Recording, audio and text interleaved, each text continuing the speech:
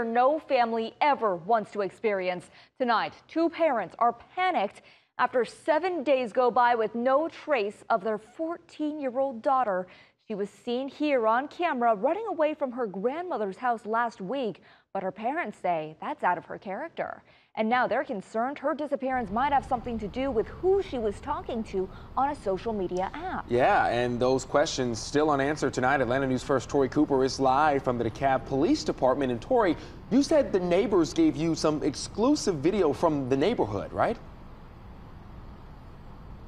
That's right, Alan. I was able to get my hands on that exclusive video from a camera from a neighbor's house across the street from Iviana's grandma's house. She was seen running away from her grandma's house last week, but tonight, family members tell me they're concerned that DeKalb police are not investigating this case properly. If you say runaway, they're not going to do anything. They're going to treat it as if, okay, she just ran away, uh, she'll be back. Travis Mitchell says he wants to DeKalb police to do more to find his 14 year old daughter, Iviana. I also told him about the house right there, had surveillance. I told him about where she was seen at, had surveillance.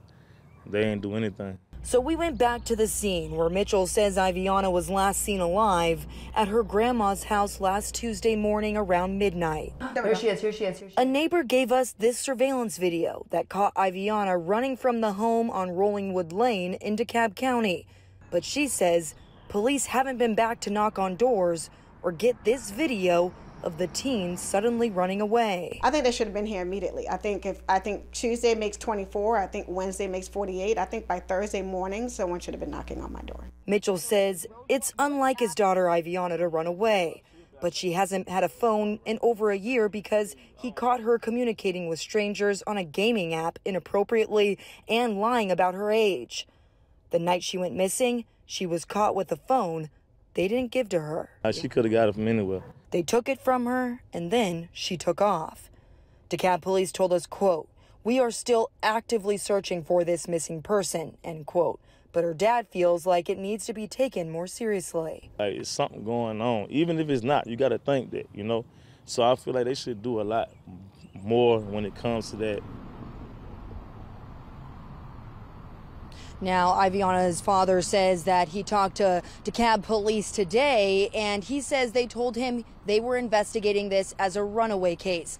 But when I reached out to DeKalb police today for more, clarification, they told me they are investigating a missing person. Meanwhile, Iviana's father says this is an excellent reminder for all of the parents watching at home tonight to make sure that the apps you are allowing your child to use for gaming are actually for gaming and not messaging. And most of all, if you have any information on Iviana's whereabouts, contact police. Reporting live in DeKalb County, I'm Tori Cooper, Atlanta News First.